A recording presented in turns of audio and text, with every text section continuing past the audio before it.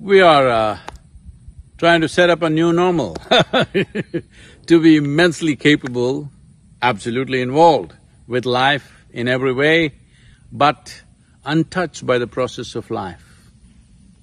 Well, the fear of suffering within a human being has destroyed too many possibilities in human life. The human genius does not unfold, human ingenuity does not find expression, the human intelligence gets crippled simply because of the fear of suffering.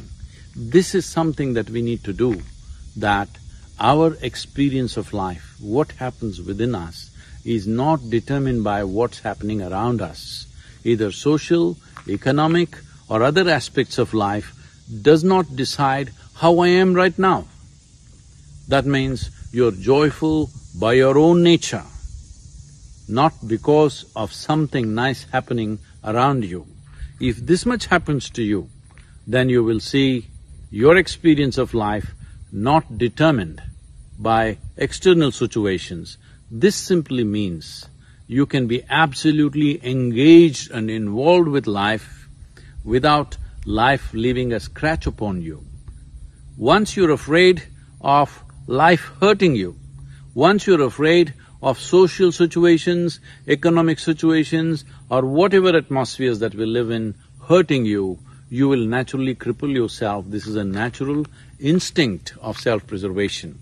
To transcend this, it is important that you become joyful and blissful by your own nature because human experience is generated from within. If this one thing, if you master, if this one thing you take charge of, then you will see who you are as a human being, the potential of who you are is an unlimited possibility.